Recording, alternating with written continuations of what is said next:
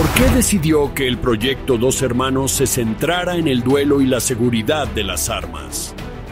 Nuestro padre fue asesinado en su patio delantero y una vez que tuvieron todo para su caso, la forma en que dijeron que fue asesinado fue que estaba tratando de ir a su baúl porque ha tenido su arma de fuego a buen recaudo en su maletero.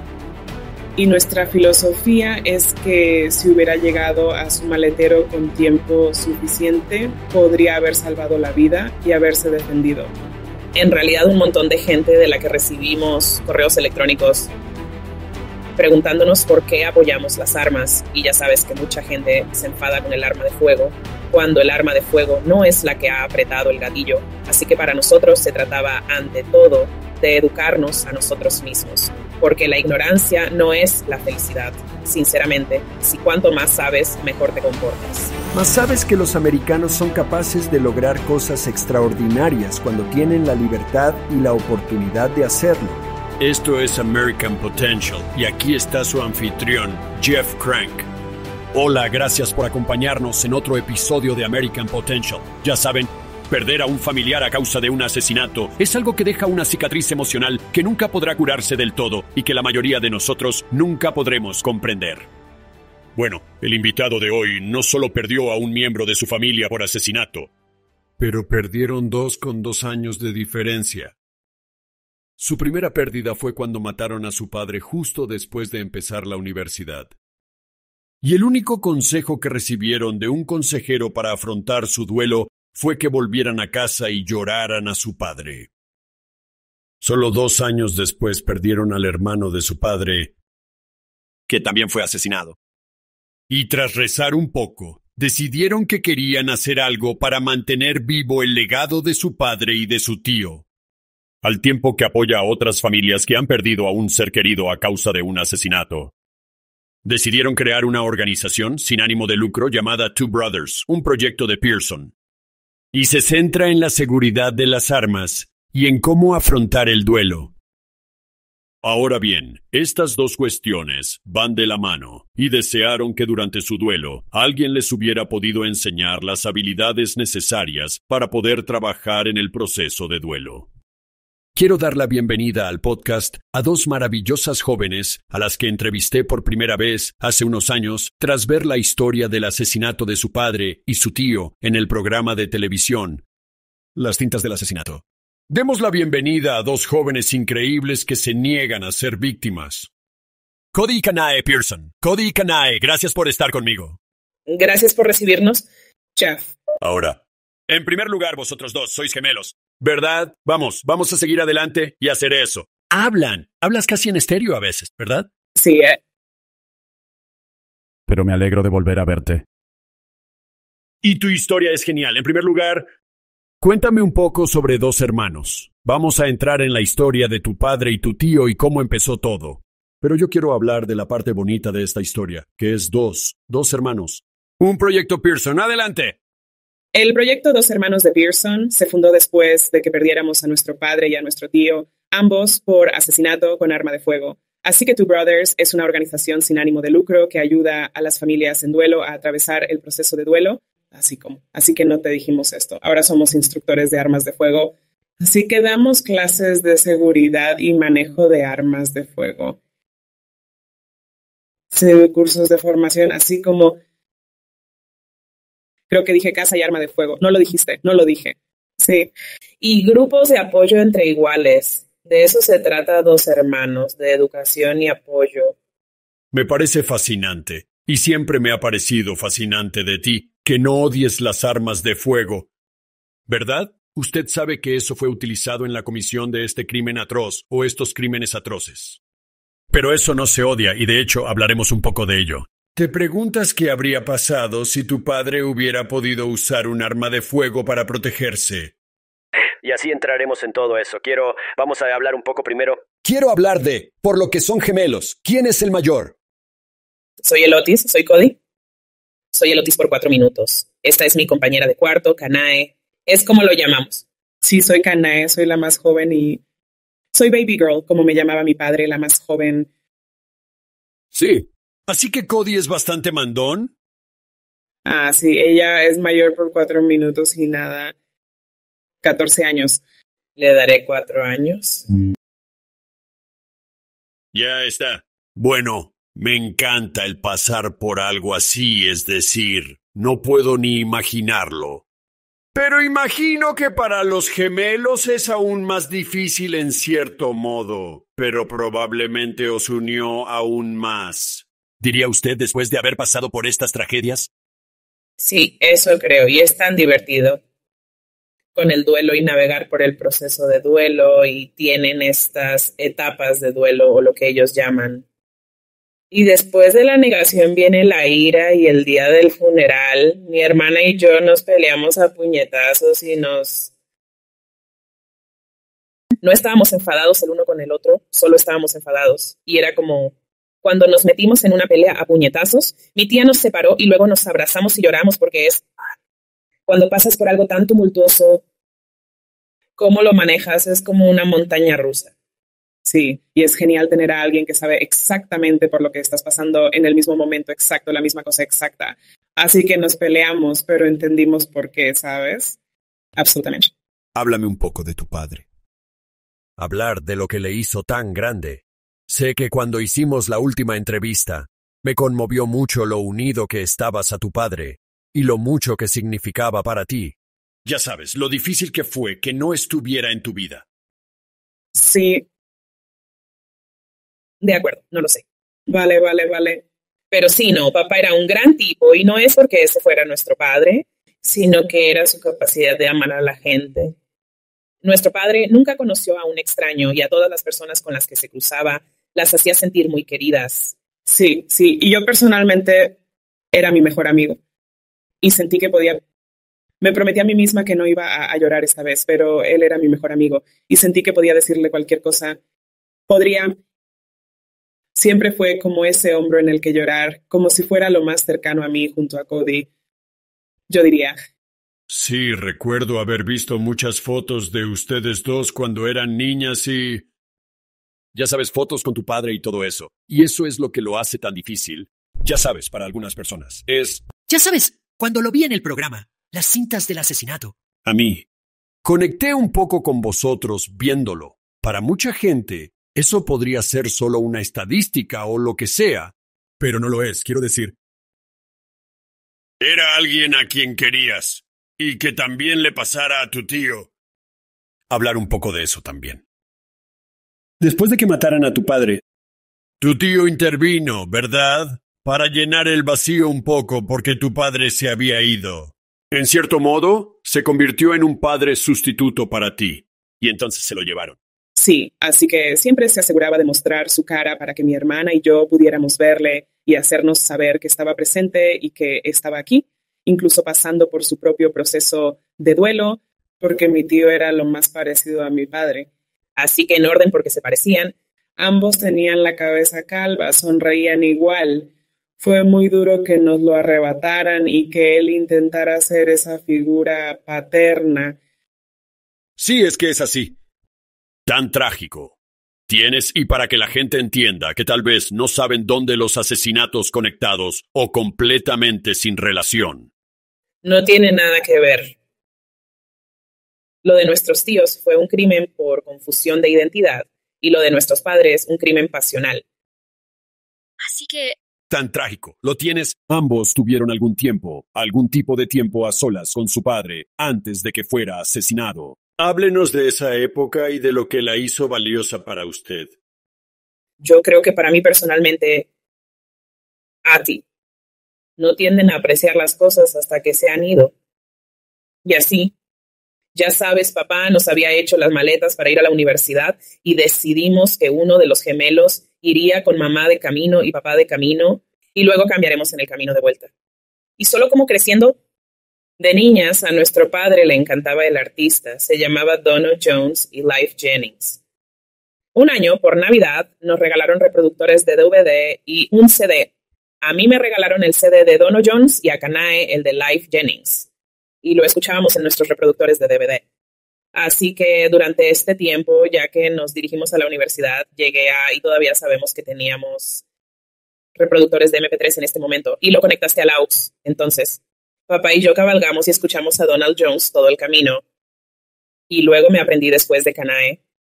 Se supo que papá y Canae volvían a casa escuchando a Life Jennings. Así que era solo ser capaz de, ya sabes, fusionar esos momentos, eh, como si este fuera el hombre que nos introdujo en esta música. Y luego disfrutamos y compartimos la misma música por el camino. Uno a uno, sí, porque somos gemelos. Lo hacemos todo juntos, tenemos que compartirlo todo, incluso a nuestros padres. Así que ser capaz de tener que uno una vez por separado era justo. Creo que se refería a eso. Era la intención. Fue tiempo bien empleado porque no se puede recuperar el tiempo. ¿Y cuánto tiempo después de eso fue asesinado tu padre? Al día siguiente, sí, vaya. Es increíble. Háblame de ese día. El día que descubriste que tu padre había sido asesinado. Sí, así que nos mudamos, empacamos. Desempaquetado. Acababais de empezar la universidad. Los dos acababais de ir a la universidad, ¿correct? Sí, así que fuimos el viernes y nos quedamos a dormir el sábado. Y así ese domingo, mamá y papá se dirigieron hacia atrás y alrededor cuatro de la mañana lunes por la mañana, pero el domingo recibimos una llamada de nuestro hermano mayor como, hola, papá ha sido asesinado. Y así tenemos que empezar la clase en cinco horas a las nueve de la mañana. Y también hablamos con él esa noche. Nos hizo saber que había llegado bien a casa. Dijimos que nos queríamos. Le contamos cómo fue el primer día del semestre, horas después de verlo, 24 horas después de verlo, tres horas después de hablar con él por teléfono. Se había ido. Vaya. Kenny. ¿Algo que añadir a eso? Quiero decir que para la mayoría de la gente esa es su primera experiencia en la universidad. Es increíble. Sí, mi padre estaba muy orgulloso de que fuéramos a la universidad porque éramos la primera generación de estudiantes universitarios de sus hijos. Y... Ya me voy no queriendo volver a casa, pero queriendo algo de apoyo. Lo primero que hicimos fue ir al campus universitario y preguntar a un consejero como, hey, acabamos de tener una trágica pérdida. ¿Tienes algún apoyo? Algo que pueda ayudarnos en este momento porque no queremos abandonar la escuela. Y el consejero dijo, sencillamente, si yo fuera tú, haría las maletas, ir a casa y llorar la pérdida de su padre porque viven, vivíamos en Ohio, pero íbamos a la escuela en Michigan. Así que fue un viaje hasta llegar a casa. Así que nos destrozó un poco. Pero aún así queríamos hacerle sentir orgulloso y terminar, terminar el primer semestre con fuerza. Sí, y estaba muy emocionado porque nuestro padre sirvió en la Marina de los Estados Unidos y así decidimos que queríamos decorar nuestra sala de estar y el tema náutico. Así que había comprado este, el enchufe de Ali. Había comprado un faro para nosotros y teníamos fotos de barcos por todas partes. Estaba muy emocionado de vernos ir a la escuela, así como conmemorarlo un poco en nuestro apartamento. Es increíble. Tu padre. Era un buen hombre, amaba a su país, amaba a Dios. Y te inculcó todo eso y hacer lo correcto. Realmente fue un gran modelo para ti, ¿no? Sí. ¿Y cómo fue después de que se fuera? Creo que puede que haya hablado contigo antes sobre esto, ya sabes. Mi madre murió cuando yo tenía 14 años, y solo recuerdo haber ido después de la escuela durante meses, tal vez seis meses después. Y ya sabes, entraba y a veces cogía mi mochila y entraba corriendo, abría la puerta y la tiraba en el sofá o algo así para decir, Hola mamá. O simplemente te olvidas de que no están ahí para ti. ¿Cómo fue después de que tu padre se fue? No tenerlo. Incompletos. Nos sentimos incompletos, un vacío que no podía ser llenado por nada. Y entonces experimentamos como una montaña rusa de emociones solo tratando de como agarrar, no físicamente tenerlo aquí. Así fue. La vida era, no sé, sí, era muy, era insuperable, sí. Era muy como una sensación incompleta. Y, ya sabes, por supuesto también queremos darte siempre nuestro pésame, Jeff, porque perder a un padre nunca es fácil. Y no podía imaginarme pasar por eso a una edad tan temprana. A una edad tan temprana. Y como nuestro padre había puesto como una de nuestras facturas de servicios públicos a su nombre. Y así llegó la primera factura de servicios públicos y tiene su nombre en ella. Y cogemos el teléfono para llamarle y no podemos, ya sabes. Y llamábamos honestamente, pero solo sonaba. Y guardamos ese correo durante mucho tiempo solo porque podíamos ver su nombre en él. ¿Lo era? ¿Uno de ustedes no tenía un correo de voz? Yo también recuerdo un buzón de voz de tu padre. Sí, teníamos un mensaje de voz de papá. En realidad está en nuestras notas en alguna parte. Pero sí, teníamos un mensaje de voz de él porque hablé con él la noche antes de la escuela. Le dejó un mensaje de voz a Kanae y le dijo, Hola nena, es tu padre. Soy tu padre. Solo quiero decirte buena suerte mañana y el primer día del semestre. Te quiero. ¿Han podido atrapar a su asesino? Aunque lo sepamos, lo sabemos. Sí. ¿Y de esto hace cuántos años? ¿Hace cuánto mataron a tu padre? ¿Ocho años? Y entonces tu tío. Hablemos un poco de tu tío. Así que en cierto modo intervino después de que su padre falleció. Dijiste que se parecía a él. Probablemente suena un poco como él. Ya sabes, criado de la misma familia. Así que tenían muchas de las mismas características. Estoy segura. Él como que intervino y trató de llenar ese vacío porque tu padre se había ido. Y luego, literalmente, ni siquiera dos años más tarde. ¿Es eso cierto? Le quitaron la vida en un terrible acto sin sentido y también en un asesinato. Sí. Y acabábamos de verlo el día que fue asesinado. Él quería tener como un festival de mariscos Así que vino con colas de langosta y cosas como, hey, vamos a poner estos en la parrilla. Volveré, bien. Sí, así que solo por razones de contexto. A nuestro padre le encantaba el marisco. Era alérgico al pescado, pero aún así le encantaba el marisco. Y así en...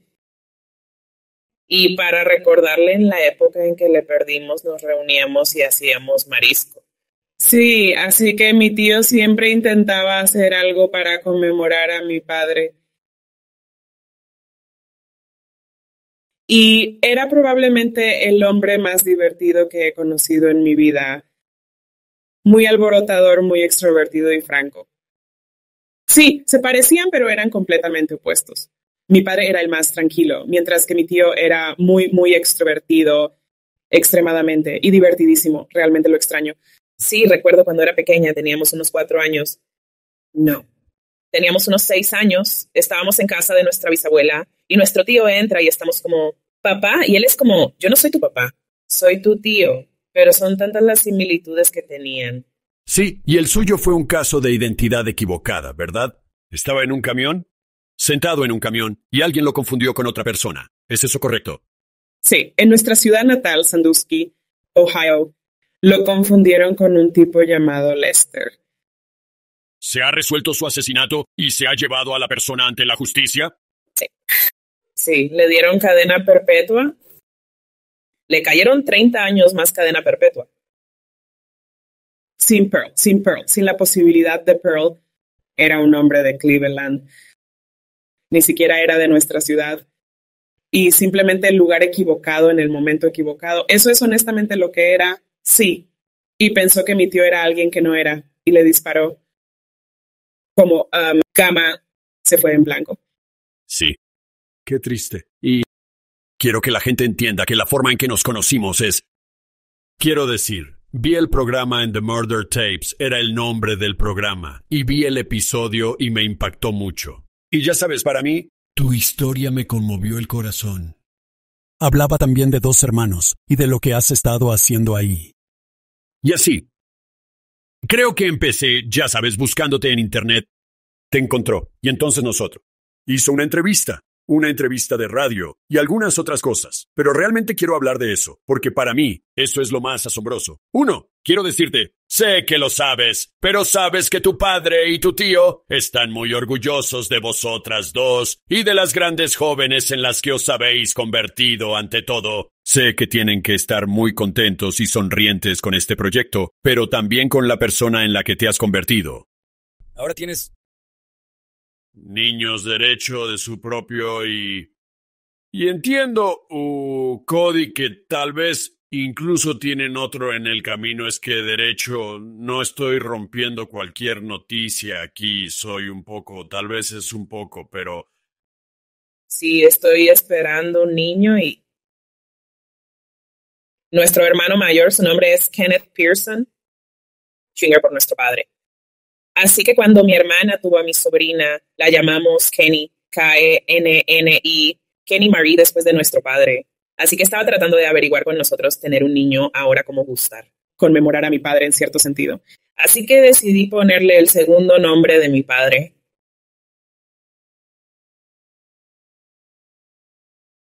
Y sus hijos tienen el mismo segundo nombre, así que me, he subido al carro.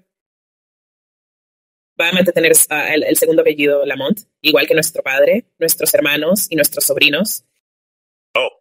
Eso es genial, bueno, genial. Felicidades por eso. Pero de nuevo, creo que tu padre y tu tío solo sonriendo por eso. Hablemos un poco de dos hermanos, un proyecto de Pearson. ¿Cómo surgió la idea? Dos hermanos, un proyecto de Pearson. Vino a través del desamor, la falta de apoyo y la oración. Así que mi hermana y yo nos pusimos a rezar y ayunar. ¿Qué hacemos? ¿Qué hacemos ahora? Acabamos abandonando los estudios porque era demasiado. Nos quedamos después de nuestro padre, pero cuando nuestro tío falleció, decidimos volver a casa para estar más cerca de la familia. Y fue una inquietud en nuestro espíritu. Y rezamos sobre ello. Y un día por teléfono dijimos exactamente el mismo nombre al mismo tiempo. Y a partir de ahí empezamos a trazar mapas lo que podemos hacer para, ya sabes, por supuesto, mantener vivo su legado, pero también ayudar a otros a pasar por el proceso que nosotros hemos tenido que atravesar. Duro viaje. Así que queremos poder ayudar a, recoger a esas personas que han perdido a alguien, no solo por asesinato, pero cualquier tipo de tragedia con armas de fuego, ya sea homicidio, suicidio, muerte no intencionada, tiroteo escolar o cualquiera que esté de luto. Así que entiendo. Obviamente, es obvio por qué decidiste centrarte en el duelo. Sentías que las familias necesitaban una vía de escape y cómo aprender a hacer el duelo cuando pasan por una tragedia como esta. Pero me interesa saber un poco más sobre la seguridad de las armas. Por ejemplo, ¿por qué decidió que el proyecto Dos Hermanos se centrara en el duelo y la seguridad de las armas? En cuanto a la seguridad con las armas, mi hermana y yo nunca habíamos estado en contacto con armas de fuego. La verdad es que nos intimidaban bastante, por no decir otra cosa. Así que cuando recibimos la noticia de que nuestro padre había sido asesinado en el jardín de su casa y una vez que lo tuvieron todo para su caso, liberaron su coche y todas sus pertenencias. Y la forma en que dijeron que fue asesinado fue que estaba tratando de ir a su maletero porque tenía su arma de fuego a buen recaudo en su maletero. Y nuestra filosofía es que si hubiera llegado a su maletero con tiempo suficiente, podría haber salvado la vida y haberse defendido. Así que después de eso, eso fue un cambio en nuestra mente. Papá tenía un arma de fuego. ¿Por qué? ¿Por qué nos asusta o intimida algo que se usa como protección y que podría haberle protegido potencialmente? Así que una vez que parece que, oh, papá tenía un arma, probablemente deberíamos educar. Se trataba de educar, educar, educar para que podamos educar a otros, porque sé que puede haber gente ahí fuera que simplemente se siente intimidada por las armas. Los hay. En realidad hay un montón de gente de la que recibimos correos electrónicos. Nos preguntan por qué apoyamos las armas y les decimos que las armas no matan a la gente, la gente mata a la gente. Y ya sabes, mucha gente se enfada con el arma de fuego cuando el arma de fuego no es la que apretó el gatillo. Así que para nosotros se trataba ante todo de educarnos, porque la ignorancia no es felicidad. Sinceramente, cuanto más sabes, más sabes. Y así con nuestros conocimientos pensamos seguir extendiéndolos a los demás para que no tengan miedo. Porque podría servirte para salvar tu vida o la de alguien de tu entorno Sí, honestamente, nuestro, tal vez hace tres años, nuestro día de acción de gracias por parte materna, mi hermana vino con su arma de fuego y todo el mundo estaban enloquecidos, pero es porque no fueron educados al respecto. Y yo, por supuesto que descargué el cargador, pero me niego a quitármelo de la cabeza porque yo, yo quiero que mi familia incluso saber la importancia de las armas de fuego y no van a ninguna parte. Sí, y te centras en la seguridad de las armas de fuego, ¿verdad? Las armas forman parte de la vida. Son un derecho protegido por la Constitución que tienen los ciudadanos.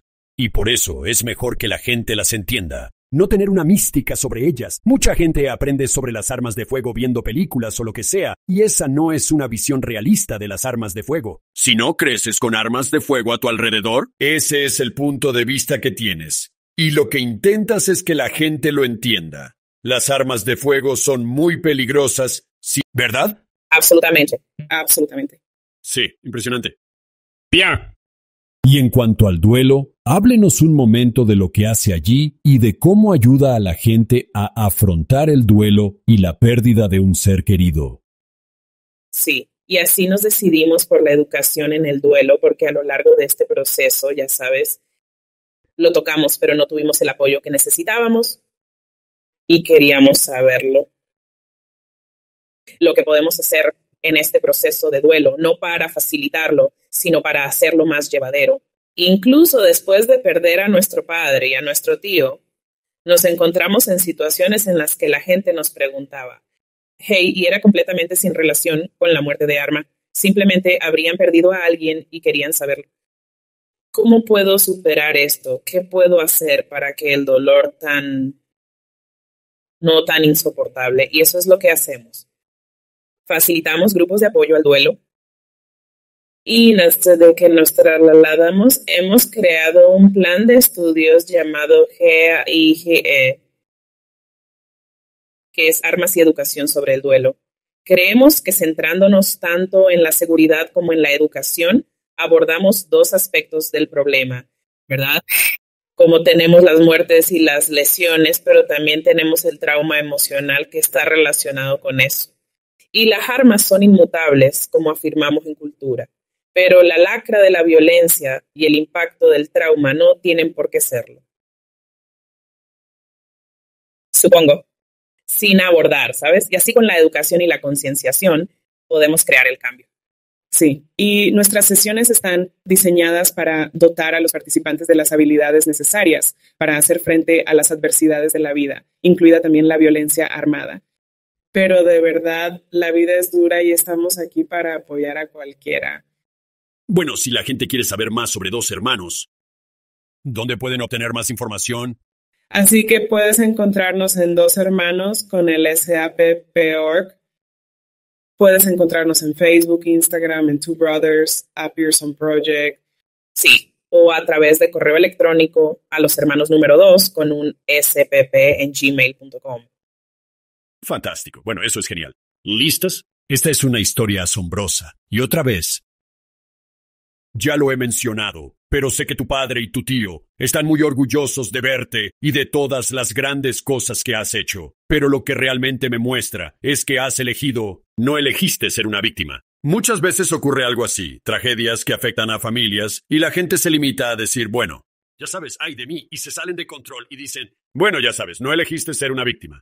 Y así creo que es realmente terminar en una vida de pobreza, miseria, todas esas cosas. Pero ambos eligieron ser vencedores en esto, que no iban a ser solo víctimas. Ibais a ser vencedores y decidisteis que ibais a hacer grandes cosas, basándoos en la memoria de vuestro padre y de vuestro tío, y no podría estar más orgulloso de vosotros dos. Así que espero que la gente vaya a dos hermanos, y vaya, contribuir al gran esfuerzo que estáis haciendo. Y te deseo lo mejor. Gracias, Jeff. Eso significa mucho para nosotros. Siempre es un placer verles y hablar con ustedes. Bueno, me encanta la historia de Cody y Kanae. Pearson. Ya sabes, es una tragedia y... Ya sabes, haber perdido a mis padres.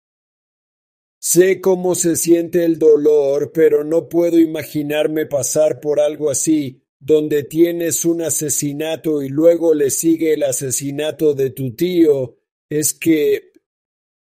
Tragedia indescriptible. Y para ellos levantarse de eso y utilizar realmente, creo, los valores que su padre les enseñó a lo largo de sus vidas. Estas dos jóvenes, que en aquel momento se estaban convirtiendo en mujeres, hicieron una gran cosa y están haciendo grandes cosas en su comunidad. Y eso es ser estadounidense. Me has oído hablar de ser una víctima o un vencedor. Y tanto Cody como Kanae realmente eligieron serlo eligieron ser vencedores. Y esa es una elección que todo el mundo hace. Y seguro que hicieron la correcta. Y están haciendo grandes cosas. Gracias por acompañarnos. Les agradezco que nos acompañen en este inspirador episodio de American Potential. Gracias por escuchar American Potential. Puede escuchar más historias de estadounidenses que trabajan cada día para ampliar la libertad y las oportunidades en sus comunidades visitando americanpotential.com.